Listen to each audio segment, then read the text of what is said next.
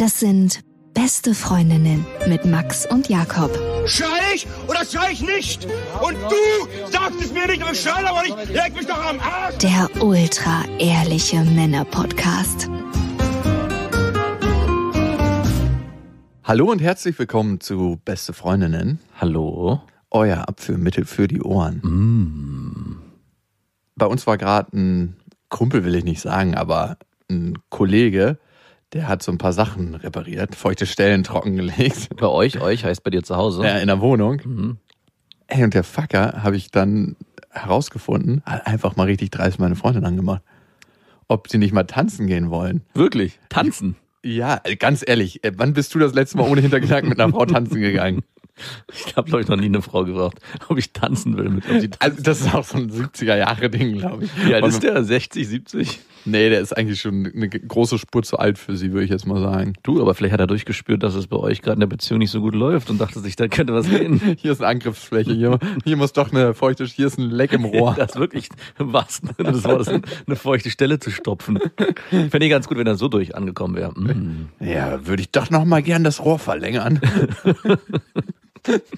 Ein bisschen Putz auf deine Mauer hauen. Aber wie alt war der jetzt? Ich glaube, Anfang 40 ist er. Oh, das geht aber noch. Ja, aber doch zu, naja, egal. War Lilla dabei? Nein, ich hoffe nicht. Ja, die ist ja immer dabei. Stimmt. Der alte Perverse, wie hat er sich das gedacht? Die versteht mich Aber ich finde es ehrlich gesagt, auf neutralem Boden finde ich es okay und fair kann man machen. Das ist so wie Fremdgehen im eigenen Bett. Ja. Das ist so, ist so eine Grenzüberschreitung. Ich hatte kurz schon überlegt, einfach weil ich die Aktion so dreist fand, ne? ihn mal zur Rechenschaft zu ziehen. Ja, weil ich immer richtig schön in den Hodensack zu treten. Hast du schon mal in deinem Bett Sex gehabt mit einer Affäre, während du in einer Beziehung warst? Nein. Warte mal. Nein. Kann ich jetzt so ad hoc nicht. Äh, äh, äh. Nee, tatsächlich nicht. Achso, sonst dann ist meine zweite Frage auch hinfällig, ob du dann direkt die Bettwäsche gewechselt hast. Hättest du es Ah, getan? Nee, ich hatte aber schon mehrere Beziehungen, in Anführungsstrichen, sondern Affären gleichzeitig laufen. Und das war immer ein hartes Rotieren der Bettwäsche. Ah, Hast du dann rotiert? Klar, was denkst du denn? Die Ich gleiche dachte- Bettwäsche drauflassen? Ich, oder so einen Plastiküberzug. Oder gar keine Bettwäsche, einfach dann immer. Warum ist denn hier Plastik? Nur so. Warum knistert das denn unter der Bettdecke? Oder Einwegbettwäsche. so aus dem Flugzeug, die man kennt, ne? Diese, die so sich anfühlen wie Servierten. Ja, voll die gute Idee. Da hatte meine Waschmaschine auf jeden Fall zu tun gehabt. Und du musst ja eigentlich auch immer darauf achten, dass du nicht im Rotationsradius so eng bist, dass die Frau immer, wenn sie weg war und zwei Tage später wiederkommt, die gleiche Bettwäsche, Ja. also die braucht ja die gleiche Bettwäsche, Ja, ja. weil wenn die jedes Mal eine andere Bettwäsche hat, dann weiß sie auch Bescheid. Ja. Oh, deine Bettwäsche riecht immer so wie frisch gewaschen. Weil sie es ist. Die muss die zum Nachbarn geben und da rotieren lassen, nachdem die gewaschen Ja. wurde, dass sie nicht. Oder du hast einfach immer nur die gleiche Bettwäsche. Zehnmal. Oh, auch eine gute Idee. Mhm. Oh ja. Und am besten noch mehrere Bettensets fertig gedeckt. Eigentlich brauchst du eine Putzfrau, die Bescheid weiß und die so einen Bettkasten gefüllt hat mit neuer Bettwäsche. und den immer aktuell hat. du Immer so drei, vier Wechselmarianten. Und dann fällt dir irgendwann auf, dass du in einer Lügenwelt lebst. Irgendwann. Was mir neulichst aufgefallen ist, ich habe ein paar Bekannte, sage ich mal, die übertreiben es ein bisschen mit ihrem Drogenkonsum. Das heißt, für die findet eigentlich keine Party mehr statt, ohne dass sie in irgendeiner Weise was konsumieren. LSD, MDMA, äh, PEP, Ketamin. Also die müssen in irgendeiner Weise sich immer berauschen und fühlen sich dabei so wahnsinnig innovativ und wir erkunden jetzt die Welt und darum machen wir diese Drogenerfahrung. Also Drogenteller. Ja, das ist wirklich so Drogenbowle. Da gibt's wirklich alles. Ich halte mich da raus, aber ähm, die sind da total experimentell unterwegs. Und ich habe mich gefragt, mir ist es dann irgendwann wie Schuppen von den Augen gefallen, dass sie eigentlich genauso spießig sind wie das Elternhaus, was sie irgendwann mal verlassen haben. Ja, also stimmt. die leben genauso emotional in ihrem Reihenhaus wie du. Weil eigentlich stellen sie sich der Welt nicht, ne? Die betäuben sich immer, um eigentlich keine emotionale Entwicklung durchzumachen. Ja. Du bleibst ja da stehen, wo du stehst, wenn du Drogen nimmst. Du machst ja keine Entwicklung durch. Das ist ja das, Gro also kann man jetzt auch nicht verallgemeinern, aber wenn du Drogen nimmst, um den Zustand, den du eigentlich normalerweise hast, nicht spür- spüren zu müssen und den quasi zu steigern, Ja. dann machst du keinen Fortschritt. Also würdest du sagen, dass Leute, die eigentlich aus spießigem, langweiligem Zuhause kommen, eher in so eine Drogenszene abrutschen, als welche, die schon vielleicht von zu Hause aus kreativ oder sich ja, Nee. lockerer bewegen? Auf gar keinen Fall. Aber ich glaube, dass sie sich für kreativ halten, aber am Ende mit ihrem Drogenkonsum emotional gesehen genauso spießig sind wie manch einer, der seit 40 Jahren in seinem Hobbykeller sitzt und sagt, ich verkriech mich hier. Mhm. Weil am Ende ist Drogennehmen auch ein emotionales Verkriechen. Absolut. Also Also, nicht- verstecken vielleicht sogar auch. Ja, nicht für je, also ich würde das nicht verallgemeinern für jede Droge und nicht zu jedem Anlass, ja. aber in den meisten Fällen, manche trinken Alkohol einfach, weil sie dann ihrer Emotionalität freien Lauf lassen Ja. können. Und das ist so, als ob du immer dich frisierst, ein Stück weit. Als ob du immer dein Auto mit Lachgas einspritzt. Also ich meine, ich habe damals das beim Kiffen auch nie verstanden. Freunde von mir haben ja auch gekifft, weil sie für sich lockerer sein wollten, abhängen wollten, das irgendwie gechillter alles wahrnehmen wollten. Bei mir war es immer so, dass wenn ich gekifft habe, war alles noch, noch viel intensiver, auch emotional. Also ich konnte mich nicht entspannen, sondern ich musste mich noch viel intensiver auf die Sachen einlassen.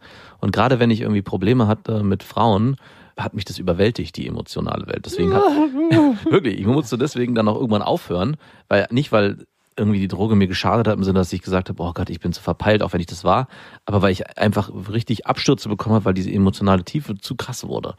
Und äh, deswegen habe ich das immer nicht so richtig verstanden, wenn Leute Drogen nehmen, um abzuschalten und von dem gestressten Alltag runterzukommen, also weil es für mich immer eher ein Verstärker war als ein, ein Abschwächer. Und vielleicht ist es bei vielen mittlerweile so, dass die alltägliche Welt so dumpf und so stumpf ist, dass sie eigentlich genau die Droge so brauchen, wie ich sie damals bei mir wahrgenommen habe, nämlich als Verstärker und als ja, als, als Zugang zur eigenen Emotionalität und vielleicht auch zu der der anderen. Total. Und genau dann fangen Drogen an, gefährlich zu werden. Mhm. Also ich glaube, Drogen nehmen ist immer genau dann gefährlich, wenn du die Welt, in der du jetzt lebst, als zu langweilig empfindest Mhm. und wenn du aus dieser entfliehen möchtest. Ja. Und ich habe mich ja schon oft mit ehemaligen Junkies unterhalten. Ne? Mhm. Ich habe mal ganz lange eine Dokumentation über einen ehemaligen Heroinabhängigen gedreht. Und das Gefährlichste, glaube ich, an Drogen in unserer Welt ist, wie sie medial behandelt werden und wie sie thematisiert werden. Mhm. Alkohol, Nikotin, Zucker, alles legal. Mhm. Dann gibt's die Sachen, die als illegal eingestuft wurden. Ne? Ich meine, das ist eine große Debatte immer. Aber das Gefährlichste daran ist, bei den illegalen Drogen, dass eigentlich immer nur kommuniziert wird, wie scheiße die sind. Ne? Ja. Also du nimmst einmal Heroin, bist sofort abhängig. Ja. Du nimmst einmal Kokain, bist sofort abhängig. Früher war für mich Kokain und Heroin auch laut der Kommunikation meiner Mutter das gleiche und ich bin sofort abhängig. Beides Ja, spritze ja. ich mir. Also das war auf demselben Level. Alle Drogen spritzt man sich auch. Das sagte Alle früher. Drogen sofort unter den Fußnagel. Egal was. Oder, oder ins Glied. Der Junkie, den ich quasi begleitet habe, der musste sich am Ende auch seine Schüsse in, den- in den Schwanz setzen, Wirklich. weil er keine freien Adern mehr hatte. In die Ku nee, nicht in die Nicht in die Kuppe, aber schön ein bisschen anreiben und dann klack rein. Äh, muss der dazu ein bisschen hart sein oder muss der schlaff Ja, also sein? ganz, ganz leicht so, so, so ein bisschen Blut irrigiert. Wirklich? Mhm. Also haben eigentlich Fleischpenismänner einen Vorteil beim Drogennehmen. Evolutionären Junkie-Vorteil. und er meinte, das Gefährlichste in Sachen Drogen war bei ihm, dass alle immer nur gesagt haben, wie scheiße Drogen sind. Mhm. Vor allem diejenigen, die noch nie welche genommen haben und wie gefährlich das ist. Ja. Und er meinte, er hat es das erste Mal genommen und gemerkt, was es mit ihm macht. Und wie krass es abgeht. Und dann dachte er, die Leute haben gar keine Ahnung und lügen. Wenn du anfangen würdest, richtig über Drogen zu reden, das heißt auch, welche positiven Effekte die erstmal haben, ne? Mhm. aber wo auch die Gefahren liegen, wäre das eine ganzheitlichere Aufklärung Ja. und die würde, glaube ich, auch vielen Leuten eine Drogenkompetenz an die Hand geben, die weniger zum Drogenmissbrauch führen würde. Ja, wobei, was ich nicht weiß, ne? Also am Ende ist die Frage. Das ist nur das, was ich aus mehreren Junkie-Gesprächen schon raus. Und diese Leute sind teilweise davon losgekommen. Den ich drei Jahre begleitet habe, der ist nicht losgekommen. Also Okay. der ist immer noch drauf. Weil ich frage mich schon, wie das ist, wenn man davon wirklich lange nichts mitbekommt, ob das eher ein Vorteil ist, als wenn man von vornherein gleich mit elf Jahren geschult wird in allen Drogen. Naja, nicht mit elf Jahren, aber es ist doch so wie sexuelle Aufklärung in manchen amerikanischen Bundesstaaten. Da haben wir eine sehr, sehr hohe Teenschwangerschaft, also dass die ganzen Teenies schwanger werden, weil die einfach auf ihren Highschool-Toiletten bimsen und nie über Sexualität aufgeklärt werden und nie über Verhütung. Ja, wobei man bei Sexualität immer eigentlich einen positiven Outcome, egal aus welcher Richtung man den betrachtet, äh, ziehen Wenn du schwanger bist mit 15. Naja, nicht, wenn du schwanger bist, aber an sich gehört Sex ja zur Gesellschaft dazu, per se. Wogegen Drogen eigentlich nicht zur Gesellschaft unbedingt dazugehören. Das ist die Frage, wie alt ist Alkohol? Und manche Tiere fermentieren Früchte, um sich zu berauschen. Ist Rauschen nicht was, was seit Jahrhunderten, wenn nicht Jahrtausenden die Menschheit begleitet? Und ja, aber also Sex gehört, glaube ich, eher stärker zu. Sex ist ja auch ein Rausch am Ende. Ne? zu, zu, Also ich will nicht pro Drogen argumentieren, aber trotzdem glaube ich, dass Rausch schon in einer gewissen Form Gesellschaften begleitet. Warum ist Alkohol so populär? Natürlich gehört es dazu. Also natürlich gehört Rausch und Alkohol und es ist ja auch etabliert als Tradition, gerade Alkohol, zu unseren meisten, Bein steht sich schlecht. die meisten Gesellschaftsformen dazu. Darauf aber, lass uns mal einen trinken. aber ich finde die Erklärung zu sagen, Aufklärung im Bereich Sex ist natürlich absolut wichtig, aber generell ist ja Sex was, was gewollt ist, also egal in welcher Form. Nein, das, auch, das kann man auch falsch verstehen. Oh Gott, widerlicher Typ. Aber die Gesellschaft an sich ist ja pro Sex an sich, muss ja sein, weil ansonsten würde ihr Fortbestand nicht existieren. Und bei Drogen ist es ja nur nicht so, dass Drogen in der menschlichen Psyche und in seiner Biologie so verankert sind, dass sie zur Gesellschaft dazugehören, so wie Sex. Also verstehst du, ich meine, das eine ist biologisch, das andere. Ich glaube, ich würde Drogen nicht aus einer Gesellschaft Nein. exemplarisch aber, rausklammern. du kann, aber du kannst doch trotzdem den Vergleich nicht so ziehen. Du kannst doch nicht sagen, also du kannst schon die Vergleiche ziehen auf genau, der Ebene. Aufklärung. Aufklärung, genau. was, wofür sorgt Aufklärung? Und das ist der einzige Vergleich, den ich ziehe. Okay, du, du explodierst es. Okay, dann bin ich da bei dir, wenn du das so explodierst. Sehr Ansonsten finde ich nämlich, äh, ist, wie gesagt, Sex was, was natürlich dazugehören muss. Und da muss auch eine Aufklärung stattfinden. Aber wie gesagt, der, gesellschaftlich ist äh, Sex hat immer den positiven Outcome, dass es zur Fortpflanzung dient. Und das ist natürlich auch ein. Und dann würde jetzt jemand anderes sagen, Drogen haben immer den positiven Outcome, dass es zur Berauschung dient. Ja, aber ist der, ist der rein biologisch notwendig, um sich fortzupflanzen als Beispiel? Also, Naja gut, aber was Droge? ist denn rein biologisch notwendig heutzutage? Na, also, fort, also fort, eine Fortpflanzung wäre rein biologisch äh, verankert in Ja, gut, und was Genpool. noch? Das wäre das Einzige und äh, Hauptsächlichste. Ich glaube, es gibt gar nicht mehr. Auch gleich vielleicht Essen und Trinken. Aber Okay, und dann nehmen wir es am Beispiel Essen. Ich glaube, wenn man ganzheitlicher über Ernährung aufklären würde Mhm. und das nicht ein Bild ist, was auch zum großen Teil von der Werbung geprägt wäre, würden sich die Leute im Generellen besser ernähren. Und ebenso bei Drogen, glaube ich. Wenn man ganzheitlicher darüber aufklären würde, würde weniger Drogenmissbrauch stattfinden. ich glaube, wir kommen nicht zu einem Nenner, weil ich glaube, mein, wo ich hin will, ist was anderes als wo du herkommst. Wenn, wenn ich sage Essen, Sex sind Grundbedürfnisse, die in jedem tief verankert sind und die man einfach zum Überleben braucht, ist ja eine Droge kein Grundbedürfnis, die du zum Überleben brauchst. So meine ich das. Also klar ist da eine Aufklärung genauso wichtig, weil am Ende hast du sonst schaffst du eine Gesellschaft von Abhängigen, aber per se ist Drogenkonsum ja nicht in Aber es findet verankert. so oft statt und so viel, darum muss man sich über Aufklärung Gedanken Na, machen. äh, das dagegen argumentiere ich nicht. Na gut, wir sind tatsächlich auf unterschiedlichen Strängen unterwegs, die jetzt hier ins Nichts verlaufen. Und da wollen wir nicht hin. Wir wollen nämlich eine Hörermail-Folge mit euch heute machen. Das heißt, äh, ihr habt uns geschrieben an beste.bestefreundinnen.de und wir haben sehr, sehr viele Hörermails bekommen. Wir wollen heute ein paar kurze, knackige beantworten. Wir freuen uns immer sehr über Hörermails. Also, ich meine, der Podcast besteht auch zum großen Teil von den von euch verfassten Geschichten und Erlebnissen. Und Ich- das ist das Schöne. Ich freue mich vor allem über die Hörermails aus der letzten Vaterfreuden-Folge, die wir bekommen haben. Die waren ein bisschen zorniger. Gehört hier aber nicht in den Podcast. Vielleicht in den nächsten Beste Vaterfreund Podcast. Ihr könnt uns übrigens abonnieren auf Instagram. Da kündigen wir auch immer ganz aktuelle Sachen an, falls wir mal irgendwann wieder auf Tour gehen sollten. Äh, Sachen zu unserem neuen Buch kann ich nicht sagen, muss ich nackt sehen. Und natürlich auch zum Festival 2019. Mhm. Alles das auf Instagram und Facebook. Und ihr könnt uns abonnieren auf Spotify, Deezer und iTunes und da auch Kommentare hinterlassen. Bewertungen, Rezensionen. Das ist wie das Kerosin in unseren. Golf TDIs. das bringt uns voran. Schon gut, drei Sterne, so richtig Oh. das Maß der Mittelmäßigkeit.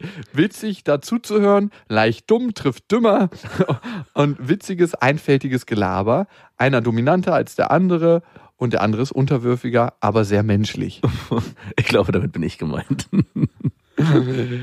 Clemens, vielen Dank für deine tolle, wertschätzende Bemerkung. Wow, Mobbing im Internet. die Trolle sind los. Herrlich.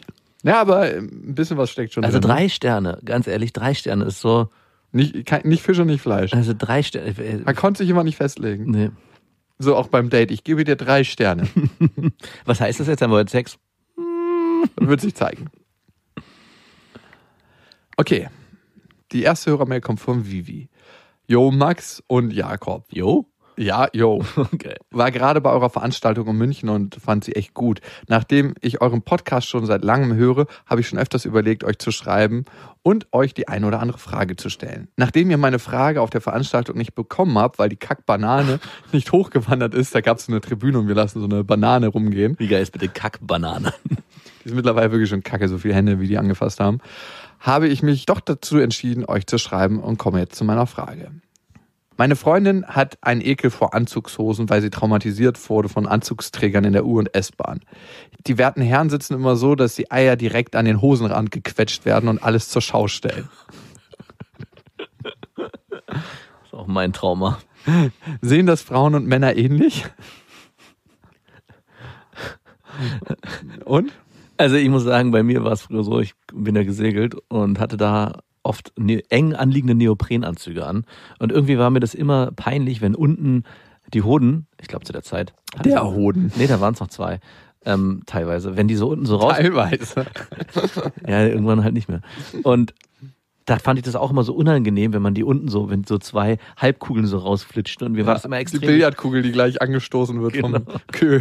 Und da war es mir immer extrem wichtig, dass der so gespannt ist, dass man unten gar nichts sieht. Ah, also ein deswegen- bisschen Luft rein? Oder es hilft auch rein zu pinkeln. Aber das Problem ist, dann läuft die Pinkel immer in die Beine. Darum, ich rate immer dazu ab, Neoprenanzüge, die man sich ausleiht, nicht nochmal auszuspülen. Weil eigentlich pinkelt fast jeder Neoprenanzug. Ja. Nee, ich habe immer ein bisschen zu groß gekauft, was dazu führt, dass ich meistens gefroren habe, weil so ein Neoprenanzug muss natürlich richtig eng anliegen. Ja. Aber ich kann es absolut bestätigen, dieses Bild in der U-Bahn von Männern, diese, diese engen Anzughosen haben. Und man wird da am liebsten, wenn man diese beiden Hoden sieht, da so gegenschnippen mit dem Finger und fragen, ey, können die sich vielleicht auch wieder zurückziehen? Müssen Das die hier so präsent sein? Der Camel Toe des Mannes ist es eigentlich. Auf jeden Fall. Ich finde oftmals, so, wenn es so richtig quetschig ist, dann packt die Hose auch so den Bauch ein Mhm. und der dicke Bauch sorgt dann dafür, dass die Hoden eh schon mal weiter draußen sitzen und quetscht die so raus, so eklig, weil der Bauch von oben runter drückt und dann werden wie so, so, so ein Pressspiel die Ja. Hoden rausgequetscht an die Hose. Ich finde es ehrlich gesagt Äh. super widerlich. Und ich stelle mir dann immer vor, das sind Puffgänger für mich. Hm. Die lassen sich dann immer so den ganzen Tag schön in der schwitzigen Anzugshose und dann lassen sich am Boah. Ende des Tages so ein Blowy geben. Ungewaschen. Nicht mal, nicht mal, Schnell noch, bevor man nach Hause fährt. Der Essen steht ja schon auf dem Tisch. nicht mal in der Diensttoilette. Aber ich meine, es geht es ja nicht auch so, wenn du die siehst, du weißt ja, wie empfindlich Hoden sind. Dann denke ich auch immer, Mann, ey, Junge, die sind so empfindlich und die hängen da so raus. Irgendwie habe ich mal, so- ich krieg sofort Panik. In mir zieht sich zusammen, als weil genau dieses Gefühl, dass jemand kommt und dagegen schnippt, ist äh, für mich immer so präsent, dass ich denke, wow. Ist das eine optische Vergewaltigung eigentlich? Ja, auf jeden Fall. Ja? Also weitaus schlimmer als ein Camel Toe, der nicht so schön anzusehen ist, oder auch Brüste, die nicht so schön anzusehen sind, aber so diese Hoden, die so unten so raus. Also gerade, ich verstehe auch gerade dieses Bild dieser Anzughosen. Es gibt ja auch Hodenträger in Jeans, wo man sich denkt, wow, ja, wenn Hm. der es schafft, durch so eine enge, harte Jeans seine Hoden durchzupressen, Ich stelle mir dann mal vor, wie die diese aufspannen und von oben reinspringen. in so, in so einer Leiter aus.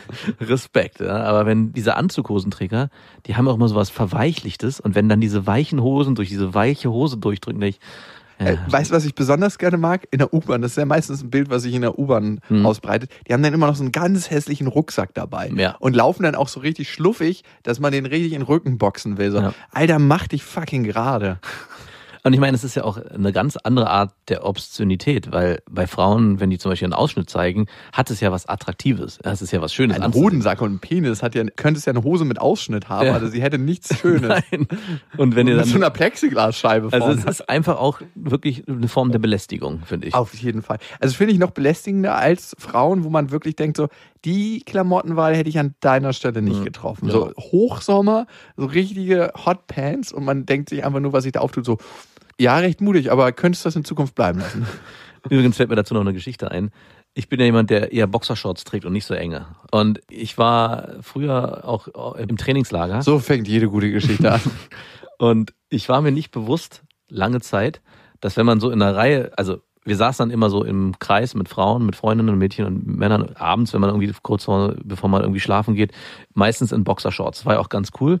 Und ich war mir nicht bewusst, dass wenn man auf dem Stuhl oder im Schneidersitz sitzt, dass so eine Boxershorts sehr viel Einblick von außen gewährt. Weil man von oben denkt man sich, alles ist safe, man sieht nichts. Aber wenn man so sitzt, kann halt jeder reingucken. Und irgendwann habe ich das gecheckt und dann immer schon vorbereitend, wenn wir so eine Abende hatten, die Boxershorts gewechselt oder halt nicht in Boxershorts da gesessen. Aber wie fremd, kennst du das, wenn du dich im Nachhinein fremdstehst für Sachen, die du gemacht hast? Und es war genau so eine Situation, dass ich dachte, wow, du saßt mehrere Jahre immer so da und alle haben dir direkt auf den Schwanz und die Hoden gestiert. Das ist eine visuelle sexuelle Übergriffigkeit, die nicht mehr stattfinden sollte. Also gerne mal einfach gegenschnipsen. Kommen wir zu Rebecca. Die hat uns geschrieben an beste@bestefreundinnen.de. Sie schreibt: Hallo Max, hallo Jakob. Oft sehe ich auf der Straße top gestylte Frauen und das von Kopf bis Fuß. Das heißt, ein sexy Outfit, viel Schminke, eine zauberhafte Frisur, bei welcher ein kleiner Wind durchs Haar flattert. Ich persönlich finde das erstens total langweilig und zweitens sehr künstlich. Naja, mein Fall ist es auf jeden Fall nicht. Jedoch habe ich immer mehr das Gefühl, dass dies der Typ Frau ist, den viele Männer mögen. Ich bin gern etwas lässig gekleidet, vielleicht auch einmal einen zerzausten Dutt. Zudem bin ich eher laut, direkt und weiß genau, was ich will und sage das auch laut heraus, wenn mir was nicht passt. Oft habe ich den Eindruck, dass Männer Angst vor mir haben, da sie denken, sie können mich nicht handeln. Liebe Grüße, eure Rebecca. Vielleicht wollen sie dich auch nicht handeln, ne? Ich wollte dich auch nicht an. Das war so mein erster Gedanke. Ach, so eine Freche. So eine Freche, die denkt, sie ist besonders, ganz besonders anders. Das war der erste Gedanke, der mir kommt. Klar, ich weiß nicht, wie sie aussieht, aber durch die Hörermail liest sich das so heraus. Und ich habe das Gefühl, dass die Männer vielleicht gar nicht wollen unbedingt. Also, ich, Sie ist in einer Beziehung, schreibt sie. Also okay, äh, dann scheint ja alles safe. nehmen bitte alles wieder zurück. Aber wieso will sie dann auf der Straße nicht gehandelt werden? Ich will jetzt nicht direkt auf der Straße äh, auf einer Automotor, auf einer Motorhaube gehandelt werden. Also wirklich. Ich glaube, das ist einfach ein grundsätzlicher Gedanke. Stehst du mehr auf Tussen oder mehr auf Mhm. natürliche? Ich finde, für mich tatsächlich kommt es ein bisschen drauf an. Kommt ein bisschen drauf an. Habe ich nur Bock auf Sex? Tut es auf jeden Fall eine Tussi. also es hat auch immer was Gepflegtes irgendwie. Und dieses, Findest du? so eine richtige top gestylte Tussi. Also es gibt so geschmacklose Tussis, Mhm. also wirklich, wo du denkst, so, muss das sein, diese Haarfrisur, Ja. wo so blond und so dunkel so gemischt werden, als ob die Frau ein Dalmatiner oder ein Zebra Genau. ist. Also das meine ich nicht. Also Also bei denen habe ich das Gefühl, die sind nicht gepflegt. Das ist eher so, so drüber. So, ah, ich kann meine Haare heute nicht waschen, weil. Und ich dusche halt lieber aber, nicht. Aber mein Styling lenkt eh davon ab. ja, eben. Nee, nee, ich meine so richtig top gepflegte Frauen. Das Okay. hast du auch manchmal bei etwas älteren Frauen, die so im Business-Kostüm sind. Ja, ja. Ne? Wo du direkt wüsstest, du könntest zu jeder Zeit unten den Fahrstuhl anschmeißen und mal in die untere Etage absinken. Mhm. Und es würde nichts passieren. Man würde denken, alles fresh hier. Hier wird fünfmal am Tag geduscht. Ja, man muss ja nicht duschen, aber es wirkt einfach alles fresh. Und wenn eine Frau so ein bisschen verlottert aussieht, Ja.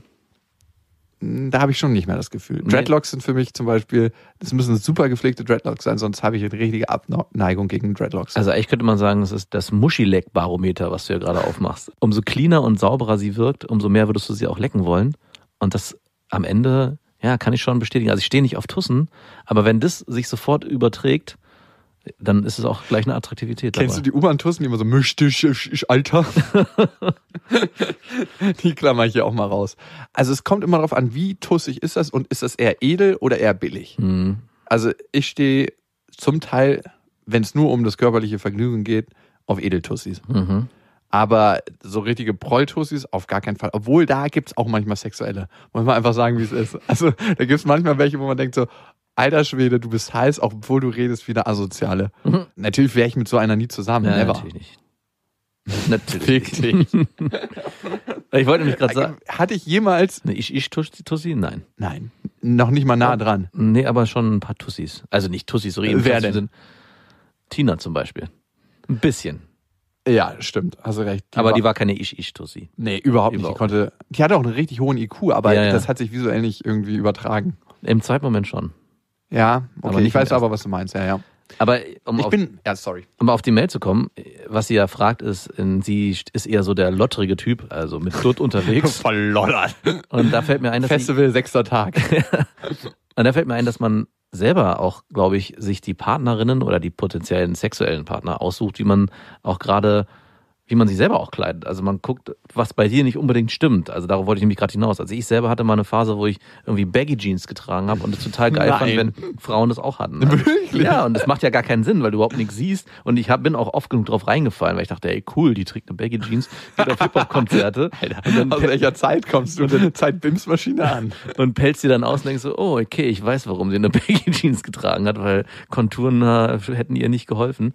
Aber bei dir ist ja auch so, du bist ja stylmäßig gut unterwegs, aber Tussen passen definitiv optisch nicht zu dir. Also du bist jetzt nicht der Anzugträger mit seinen Hoden unten aus der Hose, sondern eher schon so ein bisschen extravaganter. Also Tussen würde ich dir jetzt nicht unbedingt andichten, aber trotzdem hattest du immer wieder mal so ein paar, ja, die ist schon so Douglas-Mädchen, würde ich sie nennen. Douglas-Mädchen gekreuzt mit Pferdemädchen. Oh ja, das sind die besten. Auf jeden Fall, ey. Wo dann Steppjacke, Burberry-Schal, die kommen- Perlenohrringe. Die kommen im ganz speziellen Duft nach Hause, wenn sie erst gearbeitet haben und dann auf dem Reiterhof waren. Oh. Hm. Gibt's Gerüsttechnik. Visuell aber gibt's da immer noch was zu holen. Hier lecke ich heute mal durch. Also worauf ich heute stehe, kann ich ganz klar sagen, ist ein bisschen alternativerer Style. Mhm. Also ein Mix aus Pseudo Secondhand Mhm. und äh, coolen, gut sitzenden Jeans und also für mich ist es am Ende, wenn eine Frau so eingepackt ist, dass sie immer noch minimal eine Überraschung bleibt. Ah, ja, okay. Und du, das ist so wie so ein Scheunenfund. Du, die, es ist ein Laken über dem Auto. Mhm. Du ziehst es runter, das Laken, und weißt nicht genau, was da drunter verborgen ist. Aber du hast, kannst schon an- Du andeuten. kannst es schon erahnen. Also Ah. du weißt schon ganz genau Bescheid eigentlich. Und dann ziehst du es schon mit voller Freude runter und denkst du so, jawohl. und das wertet das Laken auch wieder auf, weil die Frau muss sich nicht mit all ihren Reizen präsentieren. Mhm. Also, das kann mal zum Beispiel sein, dass die Frau irgendwie ein T-Shirt trägt, was, das kann irgendwie sein, dass die Frau irgendwie ein Hemd Boyfriend-Style-mäßig trägt, so, Ja. was ein bisschen zu groß ist, aber dafür eine gut sitzende Jeans und ein paar Sneaker. Aber ich finde, wenn man zum Beispiel abends fein essen geht oder so, dass eine Frau auch wandelbar ist. Das Ja. finde ich auch geil.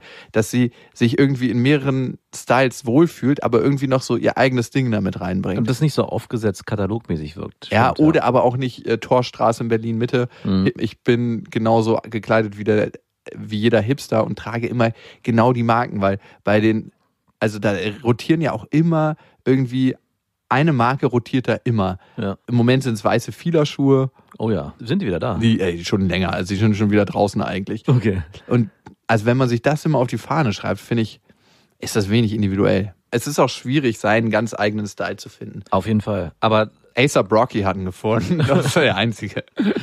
Aber ich finde, es ist schon, wie sie beschreibt, so wie man selber auch ist und wie man sich selber auch kleidet und was man selber auch an sich als angenehm empfindet. Man ist halt auch, glaube ich, ein Gewöhnungstier. Das sucht man auch in gewisser Form in dem Partner. Beziehungsweise macht es auch keinen Sinn, als Schlamper durch die Gegend zu laufen und dann Tussis anzusprechen, weil man der Nee. Hoffnung, in der Hoffnung ist, äh, so eine will ich auf jeden Fall haben. Wenn man das will, sollte man vielleicht zumindest gepflegt auftreten. Mhm. Und das ist was, was ich auch bei Kumpels oft nicht verstanden haben, die so einen hohen Anspruch hatten, weil sie gesagt haben, ey, ich will, die muss so und so und so sein und die muss ey, richtig geil und dann auch auf Frauen gezeigt haben, so stelle ich mir eine Frau vor und dann, dann Alter, guck die verbringt vier Stunden im Bad am Tag. Genau. Was willst du mit der sonst noch machen? Die und dann gucke ich mir keine den, Zeit. genau, und dann gucke ich mir den Typen an und denke so, äh, aber nicht so, mein Freund. Also da musst du mindestens eine Viertelstunde So. im Bad verbringen. Nicht so. Worauf ich übel stehe, ich weiß nicht warum, das sind zwei Sachen. Das sind so T-Shirts im Sommer, die so abgeschnitten sind oben. Das Ah. ist übelst Tussi, dass man so einen Bauch frei hat. Ja, dass man Und die sind so ein bisschen baggy, die T-Shirts. Und wenn man so das Gefühl hat, wenn ich mich ein bisschen runterbeuge, dann könnte ich den. Brustansatz sehen. So nicht, das bist du. Das bist du. Doch, Oh. kennst du nicht, die so vorne so drüber fallen? Ja, ja, ja. auf jeden Aber die müssen lang genug sein. Die dürfen, das, es gibt so einen Genau. schmalen Grad. Die müssen gerade so lang genug und gerade so kurz genug, dass man denkt, man könnte, wenn man wollte, aber Und- man kann doch nicht. Das ist jetzt ultra peinlich, aber Mhm. es sind so richtig neonfarbene Bikinis. Oh ja. Es ist einfach immer so, dü, dü, schaut mich an. ja, gerne mache ich. Also ich hatte tatsächlich schon mehrere Freundinnen, die das immer gewagt haben. Es muss jetzt auch nicht sein, ne? Aber irgendwie, es hat was ultrasexuelles. Hm. Einteiler oder Zweiteiler? Nein, Bikinis, Mann. Äh, nicht Ach so, Badeanzüge, okay. nicht die Dinger, die du. Nein, meine Mutter anhatte. Ja. Hab mich auch gewundert, wenn wir schon bei Müttern sind. In, auf alten Fotos hatte früher meine Mutter immer Bikinis an und dann, als sie mit uns schwimmen waren, immer Badeanzüge. Und das habe ich irgendwann dachte ich so, was ist hier los? Eigentlich nicht, dass ich es anders haben wollte, aber Das ist auch was für beste Vater.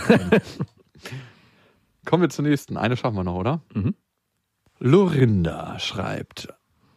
Meine Affäre, mit der ich mich schon mehrere Jahre immer mal treffe, hat mich neulich aufgefordert, seinen Anus mit dem Finger zu stimulieren. Hm. Mir ist bewusst, dass es eine sehr erogene Zone ist. Jedoch erschien es mir sehr komisch, dass er auf einmal das Verlangen danach hatte.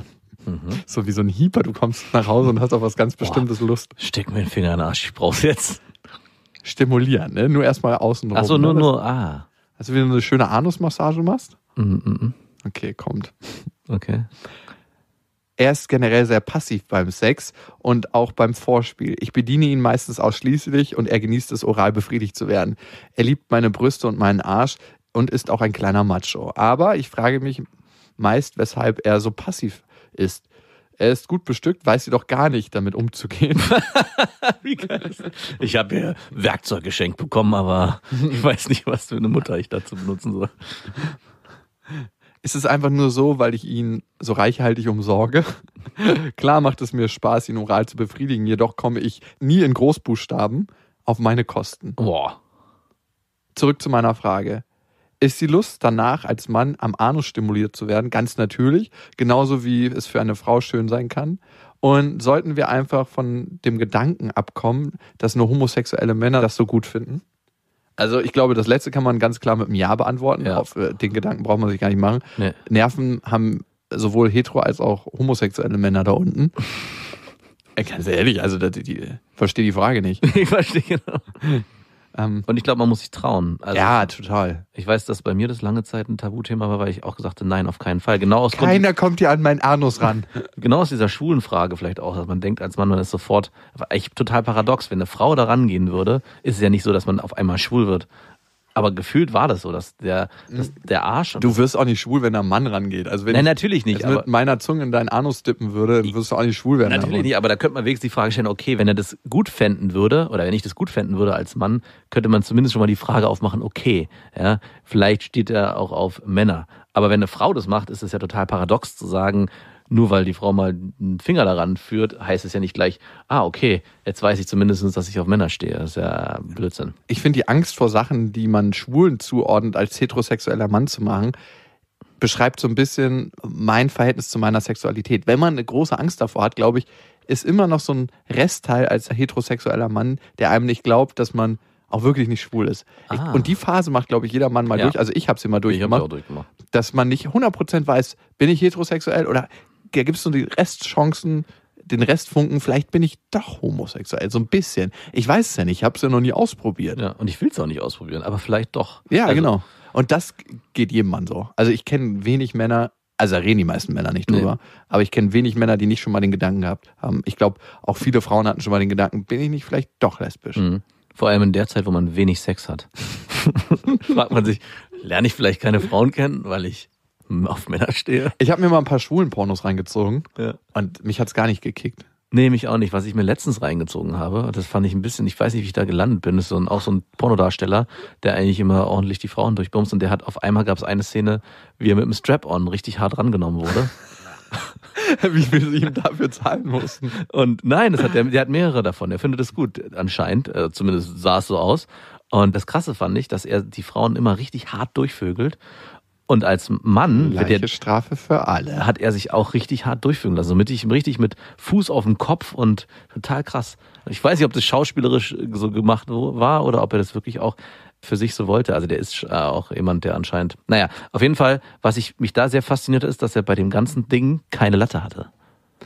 Mhm. Also ist es, das, jetzt habe ich mich gefragt, war das so, weil er es eigentlich nicht so geil fand, oder ist es vielleicht so, dass man als Mann Sich entspannen muss und deswegen muss man Genau, alles genau, loslassen. genau, das war meine Frage. Vielleicht muss man sich entspannen und hat gar nicht so eine richtige Latte. Doch, also was ich bisher gehört habe, ich habe auch in Südafrika einen homosexuellen Mann getroffen Hm. und er meinte, nicht selten wird man von hinten penetriert und dabei wird einem der Lachs gerieben. Ist auch mega geil eigentlich. Also ich will jetzt nicht sagen, dass es mega geil finde, aber es ist eigentlich total praktisch. Es ist richtig praktisch, also typisch männlich eigentlich. Pragmatisch ist richtig bis pragmatisch. zum Get-No.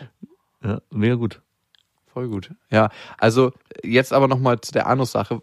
Erstmal glaube ich, könnte es für dich, Lorinda, von Vorteil sein, deine sexuellen Wünsche und Bedürfnisse zu kommunizieren Mhm, Auf jeden Fall. und da für dich gerade zu stehen, auch wenn er ein kleiner Macho ist. Ey, ganz ehrlich, es zeigt doch, dass er schon gar nicht mit seinem Handwerkszeug umgehen kann. Da braucht er ein bisschen Führung von dir, da muss er ein bisschen an die Hand genommen Der werden. braucht Hilfe. Und wenn er ein richtiger Mann ist, kann er es auch ertragen. Ja. Nur Schlappschwänze können das nicht ertragen.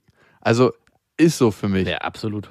Also sag ihm richtig, was du brauchst und was er für dich tun kann und mach ihn zu deinem Knecht. Vielleicht steht er auch drauf.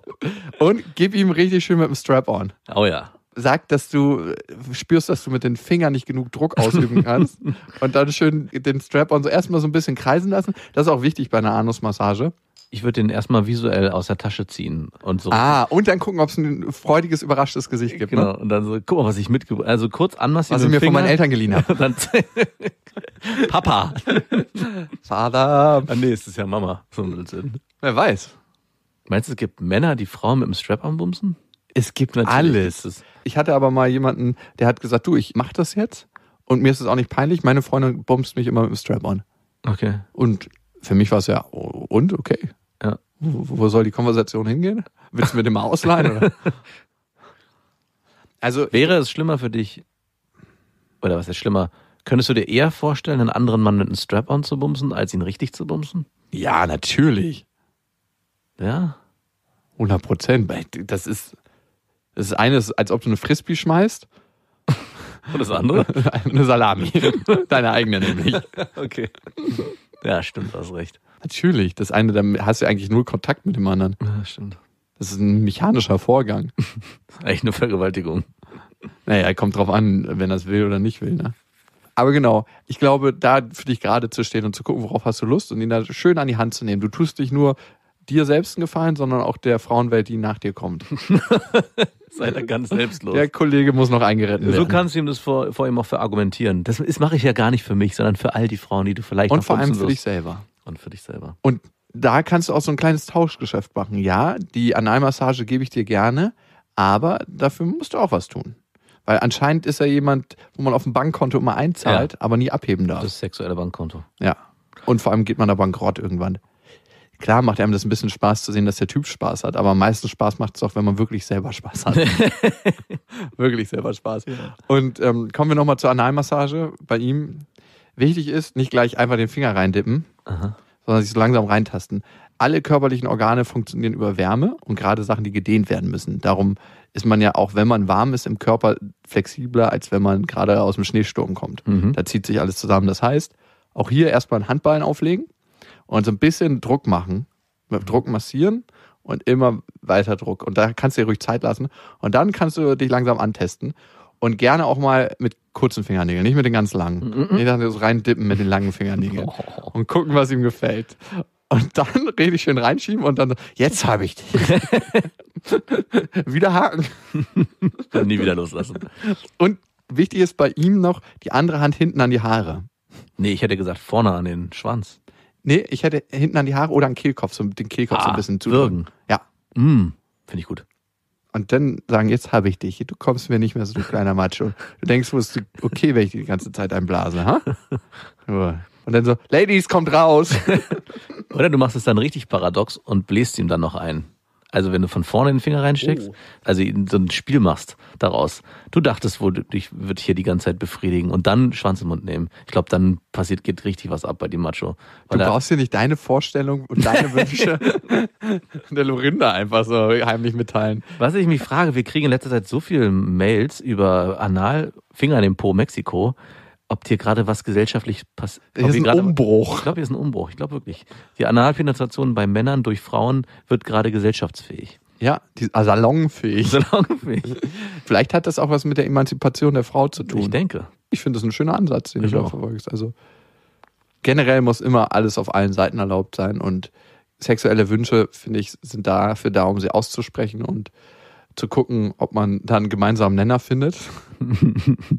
und du, Lorinda, kannst einfach schauen, ob dir das auch Freude bereitet. Ich empfinde zum Beispiel, habe ich ja schon oft gesagt, totale Freude daran, eine Massage zu geben. Mhm. Hab das aber jetzt auch für mich entdeckt, eine zu bekommen. Ah ja.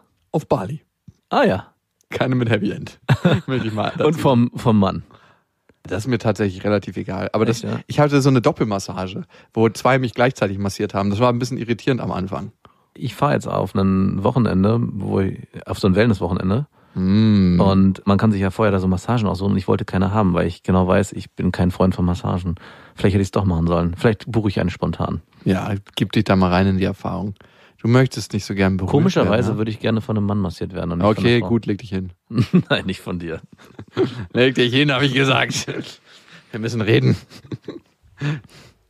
So, es hat sich ausmassiert, Lorinda. Hm. Danke für deine Nachricht und für dein Vertrauen. Wenn ihr uns schreiben wollt, tut das gerne an beste@bestefreundinnen.de und egal, ob ihr gerade massiert werdet oder selber eine Massage verpasst, ob ihr liegt, steht und eurer Bettdecke eingekuschelt seid, auf einem kalten Fahrrad durch den Wind peitscht, in der Bahn durch die Landschaft gleitet oder in eurem Auto, am Arbeitsplatz oder zu Hause, vielleicht auch unterwegs. Bis dahin. Wir wünschen euch was. Das waren Beste Freundinnen mit Max und Jakob. Jetzt auf iTunes, Spotify, Soundcloud, dieser YouTube und in deinen schmutzigen Gedanken.